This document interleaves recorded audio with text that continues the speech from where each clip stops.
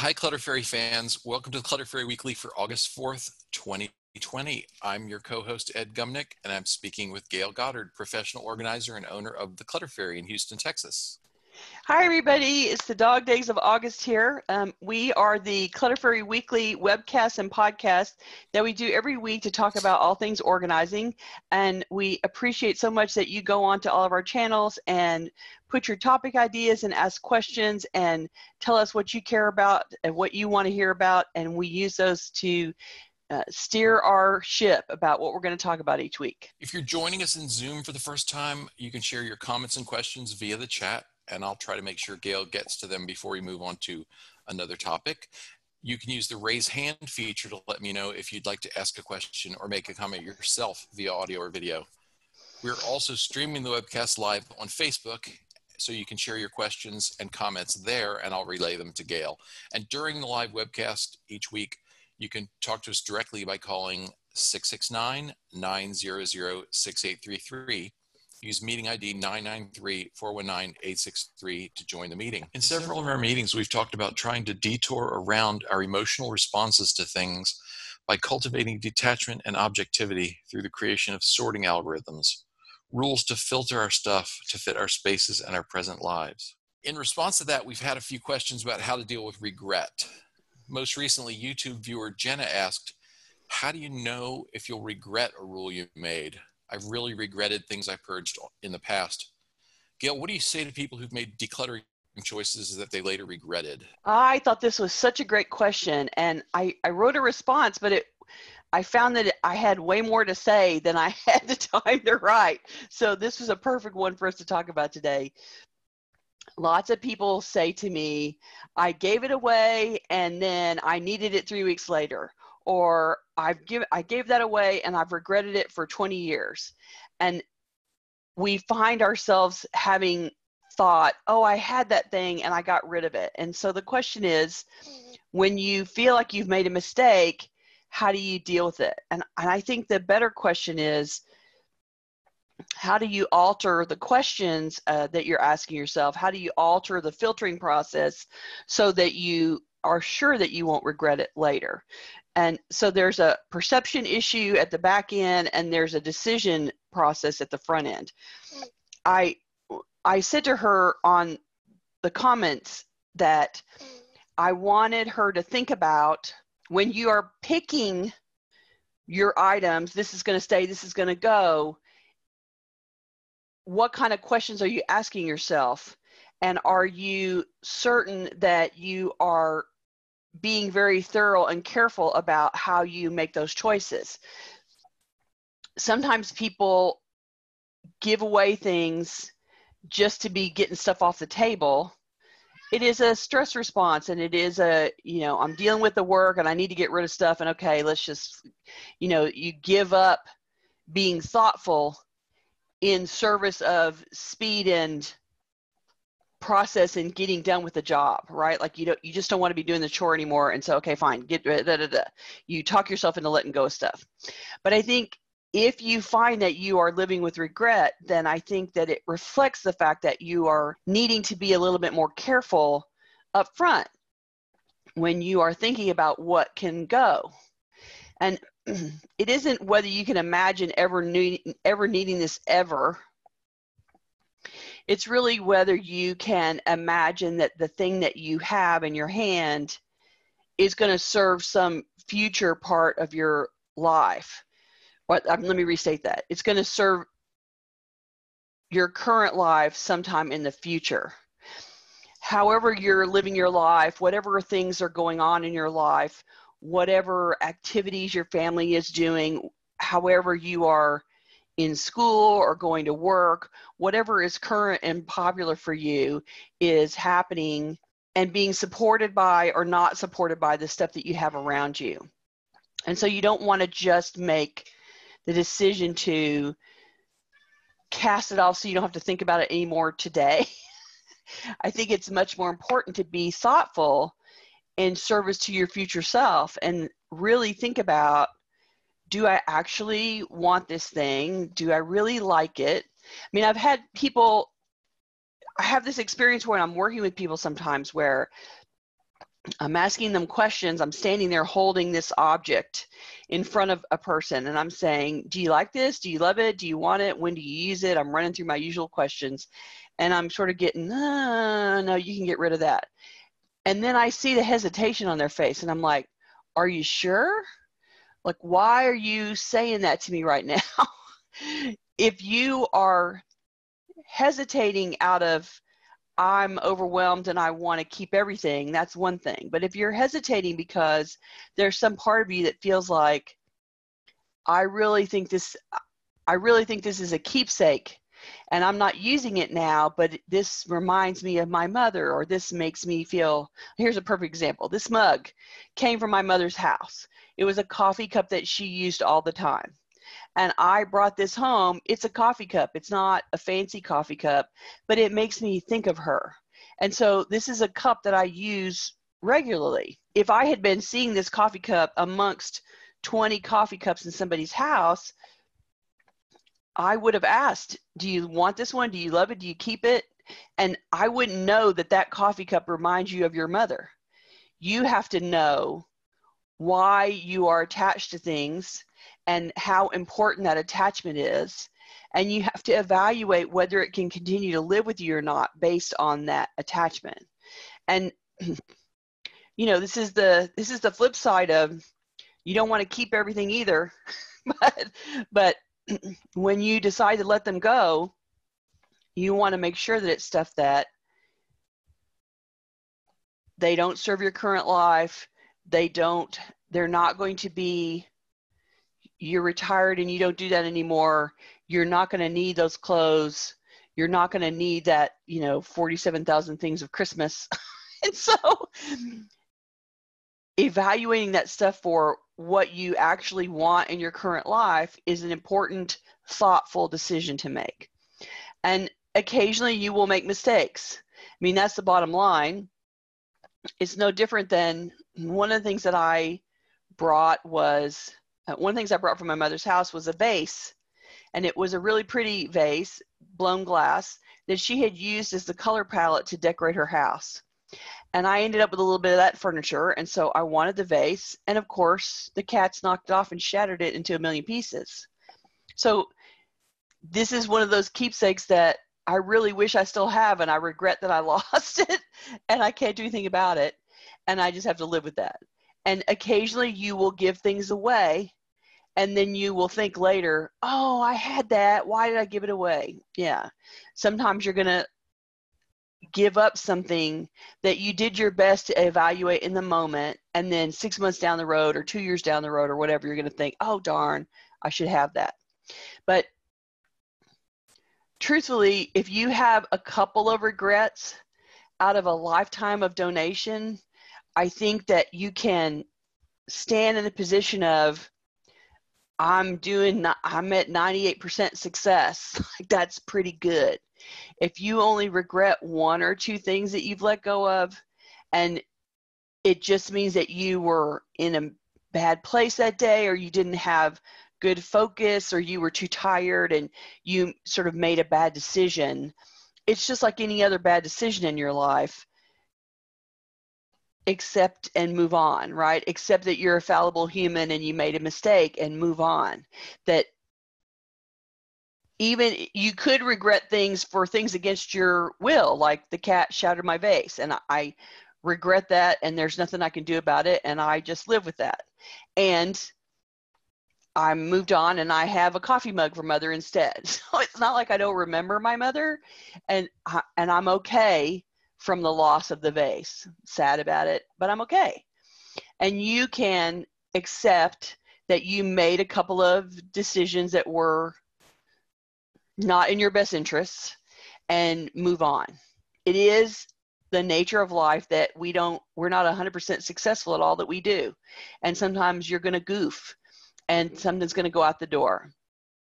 And accepting that you're human and accepting that the process of letting things go and living in a more manageable space is much more beneficial to you than the possibility of a future regret i guess the value of your manageable living space is so much more important to your well-being in your life and your health than I gave away that one thing that now I'm sorry that I gave away. And so I guess I'm saying in answer to that question, how do you deal with regret? A, be really thoughtful as you give things away and make sure that you're comfortable with it. And if you're not comfortable, then stop and ask yourself what's going on. And then B, if you do make a mistake, then chalk it up to the cat broke the vase. it's it's happened, it's done, and there's nothing you can do about it. And accept that while this one thing is something that you regret, the other 9,995 things you gave away have been successful releases. And it's worth the effort to continue to do that, even if you accumulate a regret or two along the way. That's a very long winded way to answer that question, but I thought it was worth discussing all of the process along the way because there's all kinds of reasons and things that we regret in the world, and sometimes decluttering will be one of those things. And well, on and, we go. and perhaps to counter the negative emotion of regret, you have to take a moment to focus on what you gained mm-hmm. by your decluttering. By the process, right? The space you freed up, the freedom to do things that you wanted to do, the money you're saving, the guest room you reclaimed, the counter space that's now usable.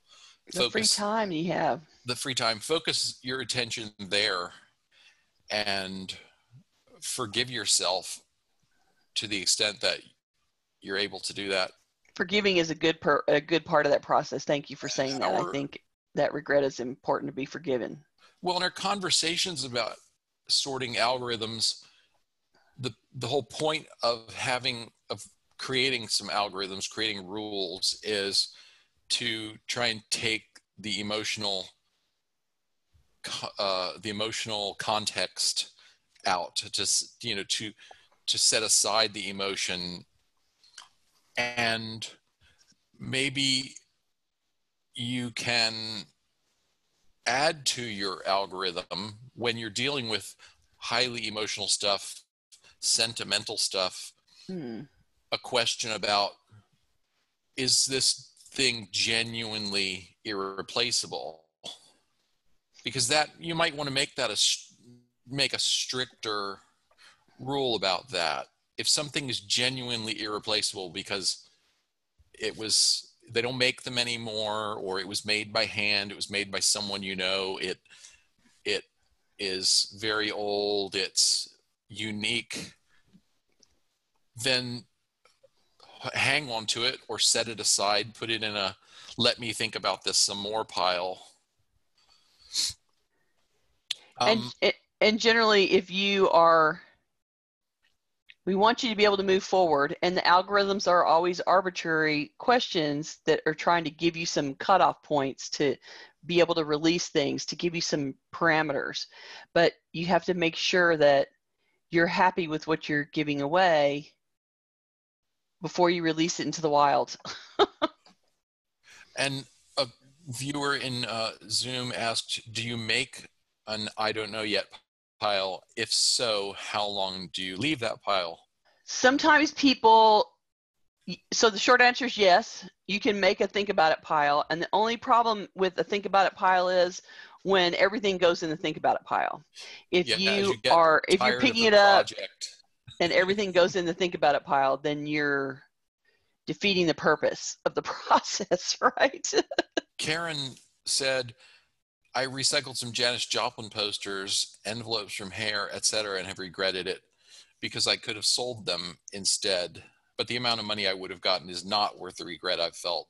And and you released them in the wild, and somebody found them and found them for a song and a steal, and what and is now holding them as the prized possession in their collection. And so, um, you don't know who that person is, but you made somebody super, super happy one day because they found your item. And so, um, you know, you didn't get the money out of it, but you gave away the blessing and the, the fun and the excitement and thrill for somebody else to experience it. And that was um, a worthy thing to do. and and then you get it you you know whenever you regret the money you didn't make you're really regretting that you couldn't get money out of it for um, for free and not very much work and not much hassle. And the truth is the money baked into stuff requires action and motion and um, lots of work on your part most of the time to get the money out of the item. And if you don't have that kind of time in your life it's not going to be something that you can uh, materialize in your life. And so letting it go is a and not regretting the money is you're basically trading off my time is more valuable than the money I could get out of this from all the work that I have to do to get the money out of it. And you're making a conscious choice there that yeah, that money is not worth my effort, and I'm releasing that into the wild and letting somebody else have it to play with it. And good job, because you're valuing your free time and your other responsibilities and your other activities above squeezing the you know the last dime out of the object that you gave away?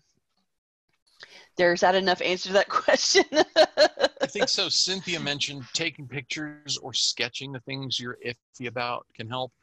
And i found when i was clearing out my house the sen- some of the sentimental stuff just talking about it to you and the people who are helping me clear the house i told there were things i told stories about and then as soon as i story about it i sort of felt like you know, I'm, I'm never, I'm never going to forget that. So I don't really need this little thing to help me remember that. Yeah, like the object triggered the story, but the story is in your head. The story's not in the object, right? Right, exactly. Yeah. Yeah, yeah. I mean, we sort of keep things as what's the word? Um triggers, anchors. Yeah. Yeah, or um yeah, I'm not sure that touchstones. right. Okay, we better get on to our featured topic or we're going to run out of time. Okay.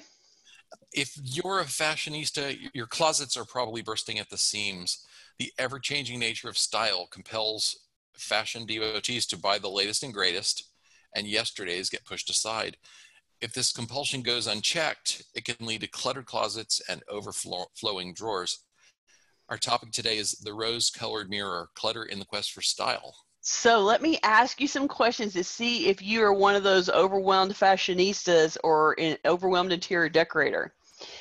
Question number one What does your closet look like? Can you put your clothes away after the wash? Can you do it easily without cursing? do you bring home shopping bags full of new clothes that end up on the bottom of the closet forever? Do you sneak clothes in from the car like out of the trunk and sneak it in and stash them in the closet so your husband doesn't see them. If you have a dresser, can you open and close the drawers really easily or are you shoving more things in? Are there clothes on the rod that still have tags on them? You know there are, and I have pulled a lot out. Can you see the floor of your closet at all? Excuse me. Do you have lots of seasonal home decor stored in random closets and pieces of furniture? Is every surface in your home covered in random decorative objects? If you answered yes to some of these questions, you might be drowning in style. And what causes the closets and furnitures to explode? We buy things because it's fun, or it's on sale, or it's so cute. We ignore the existing contents of the closet and ignore whether we need it or not. We already have 10 pairs of cute black pants, but this pair is newer and current and it's from this season. We buy something or everything new each season to stay hip and trendy. The industry has built a sustaining business model. What is cool today is passe tomorrow, requiring that you rebuy everything all the time. They created an artificial need so that you buy even though you don't actually need it. Then you'll buy even though the clothes you have still fit and they aren't worn out, which is great for them and bad for you. We're very reasonably have issues with getting rid of perfectly good clothes. You might buy into the fun of getting new stuff, but most people don't feel comfortable letting good clothes go. The old clothes, clothes aren't worn out you just bought most of them and maybe you've had them on a few times over a month or two or that season. But way before they actually need replacing, you're already on the next shopping trip. The fashion industry doesn't care about your closet, only that you keep buying regardless of actual need. What you do with the excess doesn't matter to them since they've already parted you from your money. There's the same issue with linens and towels and decor items for the living room. It's easy and fun to buy what's new, but it's hard to get rid of perfectly good things once they're, once they're replaced. The stores keep putting out new fall decor, even though you have an entire hall closet full of it. So, how does the closet function after it's cluttered? Well, you know the answer to this it absolutely does not function anymore. It renders your closet unusable. You can't walk in or reach inside. You can't get your clothes put away after the wash is done, which is the most annoying thing ever. You can't put things back in the drawers or on the shelves, and the floor is always covered. At this point, you start looking to stash things away. And that means you're stuffing things in random corners or on cabinets, on shelves, or in cabinets. I found some decor, decor items, you know, tchotchke things that are supposed to sit out parked in really weird places to attempt to stash it away. But after you do that, it's gone into the black hole and you don't remember that you have it anymore. Often you can't find all the pieces of an outfit when you want to wear it. The belt is missing or you can't find the matching, matching shirt. Getting dressed in the morning is a nightmare. Like all too cluttered spaces, you rebuy things a second or a third time when you can't find something. There is a place where there's a place in your mind where figuring out where you stash that object is much much harder than going and buying it new. And so people start replacing things to avoid the hassle of locating things which is uh, great for a capitalist society but not really great for your pocketbook or your ability to live in your space. You end up at some point you start forgetting what you have and then you end up buying a new item that's very similar to an old one because you're not willing to go find it in the stash. So this is sort of a discussion of the problem of accumulating style. Now let's talk about the process of changing what do you get from clearing it out and changing your shopping habits? Well top of the list you save money. You don't buy too much, you don't double buy, you don't throw out as much, you use what you have. The sort of extreme version of that is going minimalist, but there's just sort of a mid level regular person version of that where you use what you have, you don't shop as quickly, you don't buy things in multiples, and you have less to throw out because you have less coming in. You save time when you make this change because it's easier to find things and you spend a whole lot less time shopping. I think that um, some people have been forced to experience this in the short term because of the pandemic, that we haven't been out running around in stores because it hasn't, some of us don't feel like it's safe. Some of us uh, don't want to congregate in groups like you do in a store. And so you're spending a whole lot less time shopping and adding impulse shopping and adding things to the pile rapidly. And you're having the experience of what it's like to not be shopping constantly. And I think that that's probably been an interesting experience for some people. um, another benefit you get from making a change around this is that your laundry day is going to get a thousand times easier. It's easier to put clean things away and it's so much less frustrating. You can accomplish the task quickly and hassle free. Who doesn't want that? No more struggling to put items away and hanging clothes is a breeze. How great to shorten that chore as much as possible. And how many times have you done the laundry pulled it out of the dryer, folded it or hung it up, put it on hangers, and then it goes towards the closet, but it never actually gets in the closet because you can't put it away. Because the process of putting it away is too much of a struggle. And so you end up creating clean clothes and then leaving them in the, clo- the clothes hamper or the basket and then you know the cats sleep on them and the dogs sleep on them and you, you fish clean clothes out of the basket without ever actually getting them into the closet. And if you can thin that process out thin the herd out in the closet you can actually complete this, the life cycle of washing drying folding hanging putting away. And then you're not living with a bunch of ba- baskets with um, you know ostensibly clean clothes sitting out waiting to be worn again. I see a lot of baskets of, oh, those are clean clothes sitting right outside a closet waiting to go in somewhere. and then, and why aren't these put away? Well, because I can't get in the closet. I've heard that a million times. If you can see all the clothes, then choosing what to wear is certainly faster and easier. You can find all the pieces of an outfit when you want them you have enough to worry about in the morning. Choosing what to wear should be a no brainer. And if you can't get into the closet or it's so stuff that you can't find all the pieces, you're just making your morning more aggravating. and for somebody who is a night owl, you know, my morning needs to be super smooth because I don't, my brain is not turning on while I'm trying to get dressed if you're a morning person, you have a little bit more on the ball to play with in the morning. But do you really want to spend extra time getting dressed in the morning because you can't find something, even if you're awake? so, how do you change your quest for style? Let's start with a purge. You know, I'm going to tell you to start with purging things out. It's time to unbury the floor, empty any shopping bags you find, and hang up the new clothes and match up and purge the shoes Get ready to try on your clothes. Don't keep a million sizes. Keep what fits. Keep your current favorites only in one size up or down and let the rest go. The farther away from your current size, the less you, you should keep. And I know that someday you're going to lose all the weight and you're going to be able to put all this clothes back on. But the truth is, the farther away that size is from where you are, the longer it's going to take for you to get there. And so the clothes will be aging while you're losing weight. So you might as well keep a representative sample of the sizes that are too far away and let most of that go and let somebody else that needs them wear them right now. You know, I'm always going to say that somebody else needs to be wearing your clothes if you're not wearing them. Pull out the non clothing items being stored in your closet, and I'm talking about your clothes closets here. Why is this object here? How often do you need it? Could it be donated?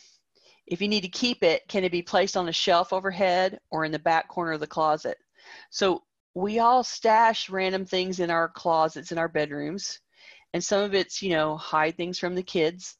some of it is, I'm going to get to that later, or this is where um, what I do without a season.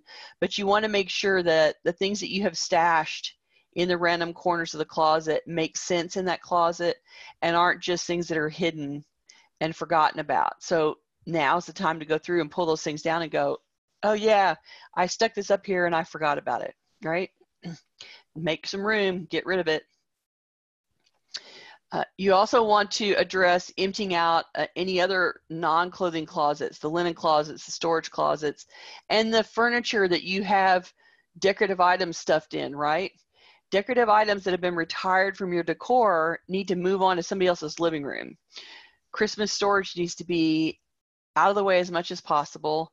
And you can, I say Christmas because I'm in the United States, and that's a big uh, part of the population I deal with here is people that have Christmas stash. But everybody has their own winter holiday decor that they have to deal with whatever your flavor. So you can just substitute your flavor when I'm saying Christmas. You need to gather like seasonal decor together and see how much you have how many Halloween um, decorations do you have? How much fall decor do you have? How much spring or Easter decor do you have? Pull it all together, see how much it is. If you have 47 pieces of Easter decor and you can only put out five, what's the point of having 47? So, really, you've just been buying stuff because it's cute over time and you have a lifetime of Easter decor. And it's time to look at the whole population and pick your favorites, the ones that you always like to put out. Or then, you know, you've got a new one and it's fresh and you want to put a new one out, which means it's time to retire something else. This is a process of filter, filter, filter because the ceramic object that you have or the silk flowers that you have or the little plaque that hangs on the wall it's not broken it's not wearing it out it's not going anywhere. So you're either going to have to give up space to it or send it on its way. Time to donate the rest yes. You're going to find some items that you've deemed keepsakes. So as you're pulling things out of closets you're going to find the one thing that you went and stuck in a corner because it was a keepsake to you. I think it's important that keepsakes don't get mixed in with the rest of your regular life. So if it's if you're keeping it and the la- it's the last reason that you're keeping it because it's a keepsake because it is a precious memory and you don't want it out on display hanging on the wall you don't want it where you can see it all the time then I think it's important to take all that keepsake stuff and box it together and park it someplace out of the way. And this is what you do with the very, very top shelf in your closets or under the bed or in the you know corner where you have to crawl on your hands and knees in the closet to go stick something in the corner. I think keepsakes unless you're somebody that goes and touches and fondles them all the time, keepsakes are things that I want them. They're part of my family history. They're part of my memories, and I want to keep them. And I'm going to go um, stash them out of the way, but not fondle them. Go go put them in a box that only has keepsakes and nothing else. You don't want them mixed in with other active life, and put them in a corner. Then you want to organize what's left. You want to sort the clothes the way that you get dressed. You want all the linens together the less you use something, the farther up or in the back or behind you, you store it. Um, store decor by the season. So when it's time to trade it for a new season, you have all the current season items easy, easy to grab.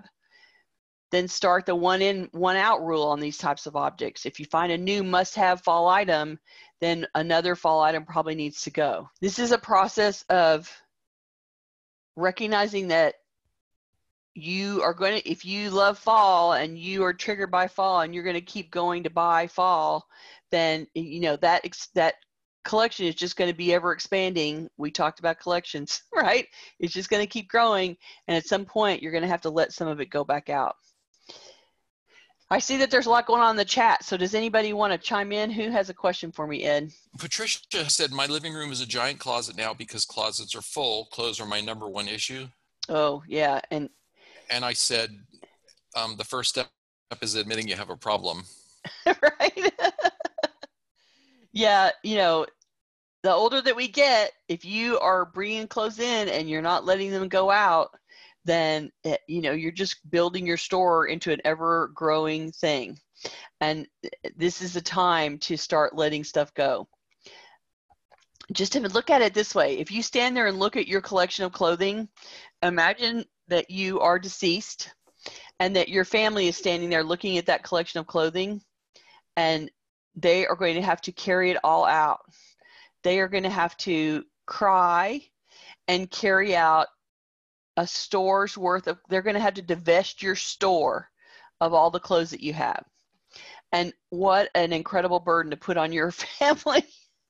it might be time to start moving some of it out yourself. Deborah said, Last year I wrote myself a clothing manifesto. Oh. She said, I was doing a seasonal sort and looked sharply at all the keepers and identified the factors of the keepers color, length, placement of darts, sleeve length, fabric, neckline, etc. I only purchase clothes which meet my manifesto. So that's uh, sort of a, you know, that's sort of like a front end sorting algorithm. How to avoid right. buying stuff that you're gonna going to regret having added to your collection because it doesn't fit the style, the aesthetic that you've established for yourself. Well, and every new fashion um, isn't doesn't work for everybody. like sometimes we jump on the bandwagon because it's the new cool thing or color or fabric or shape of clothing and we all think oh i want to have that isn't that so cool and sometimes you have to go yeah but I'm flat chested and that only works on big chested people, or I am short and that only works on someone who's tall, or my neck is not thin enough for that. Being able to evaluate a style and look at it and go, I know this is current and hip, but this will look like crap on me. It does not work with my body style. It does not work with my face shape. It does not work with my skin color. You have to recognize that all fashion cannot work on every person. And we have all seen those um, fashion uh, faux pas, people walking out in the world wearing the current thing, and you're looking at them and thinking, she should not be wearing that. That thing looks terrible on him. That is a horrible color for her. You can tell out in the world that some things are bad choices for you. for whoever you know we we we are not all shapes and sizes in one body. We all have um you know our slice of the pie and sometimes our slice of the pie doesn't work with the current fashion. And so how great that you are filtering up front deborah because that means that you're preventing things from coming in that then you would have to turn around and let go of on the other side. So good job for you. That's awesome I also see somebody um, says uh, Marie Kondo makes a pile to the ceiling, like pull everything out and look at it all, so that you have some idea of how incredibly much you actually have. Well, there was a question about do, do you favor hanging or folding? Can you can you fit more folding things or hanging things? And Petra said, I don't really know, uh, but but feel that by hanging you lose quite a bit of space underneath the clothes. Well, and I think the the bigger question is the concept of fitting more in the space maybe is the misnomer. You can always put cram more into a closet. You can always make like you can always wedge more in, but the more the tighter that it gets and the more um, compactly stored things are, the more that's shoved into the cube, the harder it gets to take things out, maneuver, see everything. Like you're, the, the tighter it gets, the less uh, flexible and uh, usable it becomes. You're you're sliding away from I can see all and use all to I can store all permanently in the storage container. And so you do want to sort of keep that line in your head about how hard am I adding it so much that it's going to be that much harder for me to get things in and out. In theory, you're cramming it full because you want to see everything and wear everything. But if wearing everything is impossible because you can't easily get it in and out, or you are somebody who is frustrated by how hard it is to get it in and out, then you've created a set that you then cannot actually use. So you do want to keep that kind of stuff in mind. Um, Stashing it and um, in, increasing your capacity may also increase your frustration. What do you think of the minimalist capsule wardrobe? 33 oh. items total. Yeah, I mean, if somebody is into that, that's a complete mind shift, right? Like that is that is the definition of, um, you know, you live with a very very small collection of clothing, and you rewear them over and over and over again, and then you don't spend money on clothes, and you don't have a whole huge variety. And so, if this is something that you could live with, awesome. You'll have plenty of room in your closet. it will be it will be all kinds of air up in there. Um, go for it if you can do it. I, I'm not sure that everybody can make that mind shift. It, it does require an agreement that you like like it's 1945 and you're going to wear the same suit over and over and over and over and over again. I see another comment too. Um, the question to ask yourself: Would I buy this today? If you look at things in your closet and you can answer that question, would I buy this today? If the answer is no, then it's probably time to send it on. That's a very good way to filter it. Like if I wouldn't see this in the store right now and buy it right now and wear it, then why am I keeping it? Because it's never coming out of the closet again. Cynthia said, a smart friend helped me some years ago, and one rule we made was that pants with pleats, no, they are just fattening to me. And she she talked about getting rid of outliers, very helpful. Um, now I have my closet mostly organized by color and mostly solids, neutrals, the black sections, browns, grays, and that's most of my work wardrobe. I call it adult garanimals. Uh, adult garanimals, that's awesome. Well, but it's a great idea of, you know, you know what colors you like to wear and match together. And so you uh, set it up so you can grab in that in each of those sections. That's awesome. I have sort of an adult garanimals thing going on too because I have a very limited palette of colors and mostly shorts and mostly cargo shorts and t-shirts. Everything everything goes with everything. right? yeah, you have that I work from home life wardrobe, Yes. Right?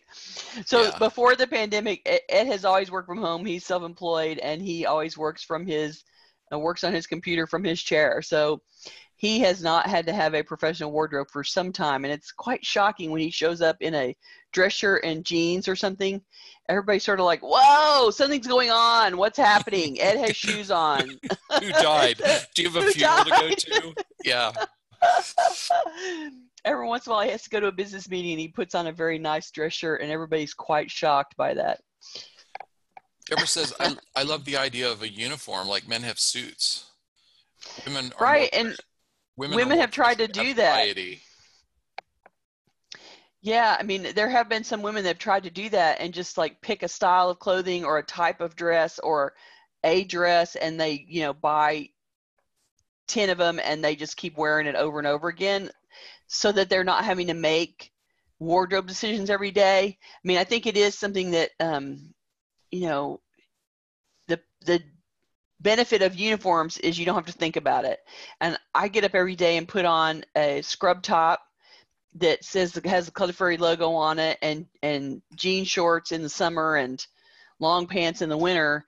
And that is and tennis shoes and i'm going to wear that five days a week four or five days a week. And so on those mornings i'm not struggling with what am i going to wear and what matches and oh my gosh and where's the belt? And i'm not having i'm not spending any of my morning time um, worrying about it. And and there is some benefit to that. And in a in a very professional environment where you know you're having to put on business clothes you can create your own uniform by particular picking a particular style and just wearing that style every day to work. And you know, people have tried it. Very successful people have tried it so that they're not putting any bandwidth into thinking about their clothing. And and you know what? If you're one of those people and you have really important things to think about, clothing is pretty far down the list of important valuable thoughts, right? Karen says, I have some wonderful clothes that fit me beautifully, but I don't wear those for my current work or go to places that would be appropriate for me. But they stay in my closet because they fit, look great on me, and are good clothes. Any pointers? Yeah, this is the um, my life has transitioned away from stuff that looks fabulous um, conversation. Um, it happens a lot when people retire, right? Uh, where you have been wearing business clothes all day long every day. You had you worked at a bank and you had to put a suit on every day, and then you retire, and now you have this whole wardrobe built around something that you will never do again. so, recognizing that the volume of those clothes is probably not necessary anymore. So I would look at those. They fit me, they look great, whatever, but I'm not wearing them all the time anymore. I would go and look at can I pull some favorites out of this list? Can I reduce this population by half or can I get it down to a quarter of what it is and release the rest into the wild, let somebody else wear them?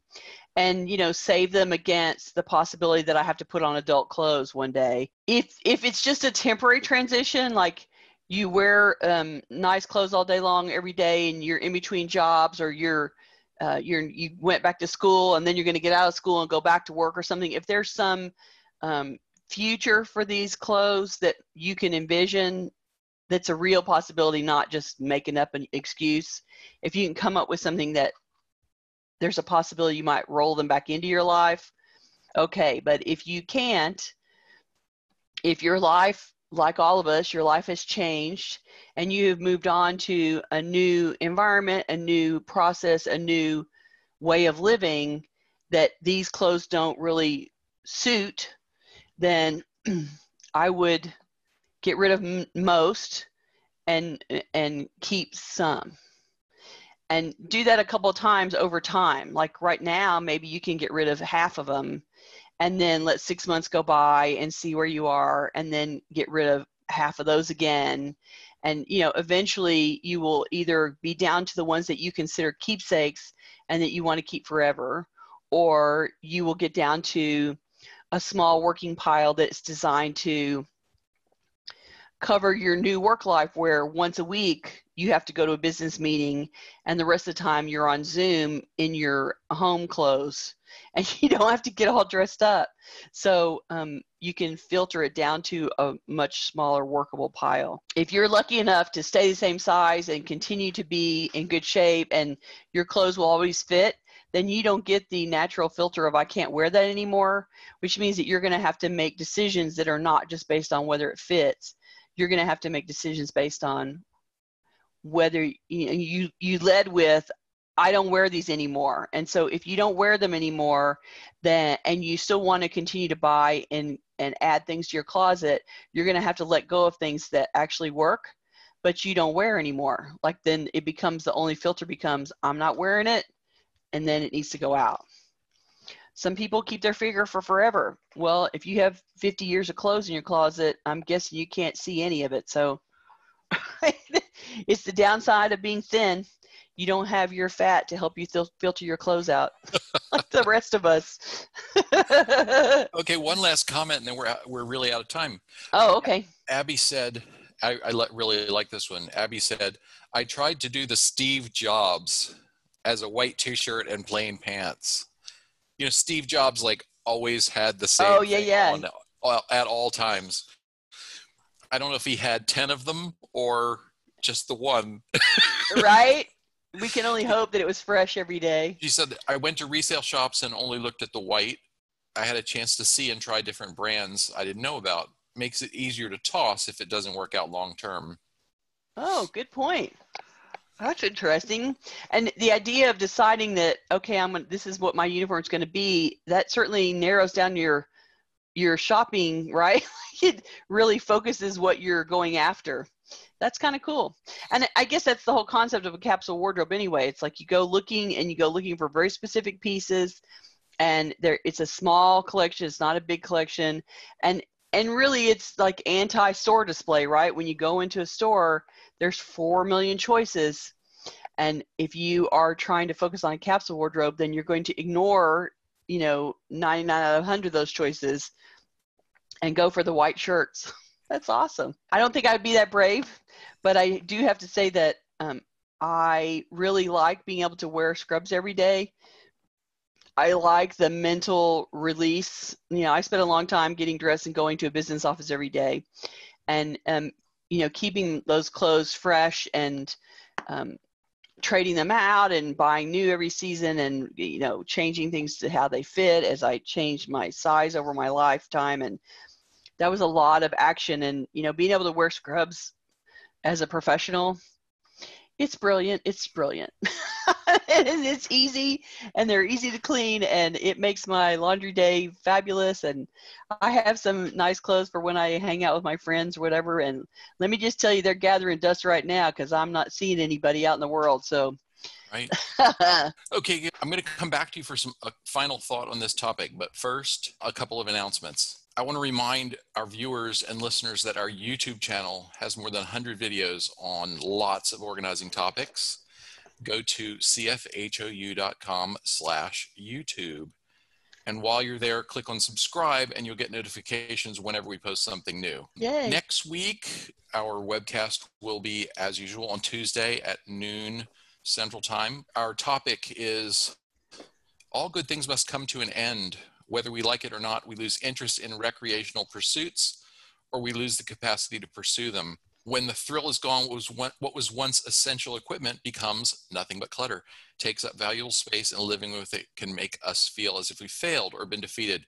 We're going to be talking about hobbies, crafts, and sports that we've left behind, how to accept our life changes, evaluate our collections, and let go of the old to clear space for new passions.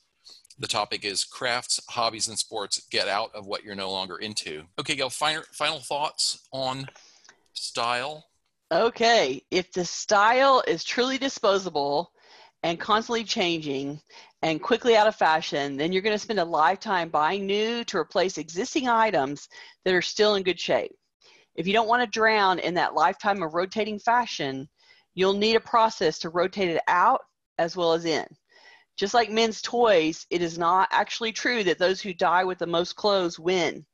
I think it's better to send those clothes on to the next user now while they can still be worn rather than having your family donate them all in a big lump when you're gone and they are long since too far gone to be wearable. If style is disposable, then you have to dispose of it. That's my final thought. if you're watching this on YouTube, we'd love for you to join us live. To get notifications about upcoming events, we invite you to join the meetup group by visiting cfhou.com slash meetup. You can also follow us on Facebook by going to cfhou.com slash Facebook or join our mailing list by visiting cfhou.com slash subscribe. We love to hear from you, so please send us your questions and topic suggestions in the YouTube comments. And you can always reach us through our website at clutterfairyhouston.com. Yay, I did the signs correctly this week. Yay. Thanks, everybody. We're so glad that you came to join us, and we will see you next week. Bye-bye. Bye.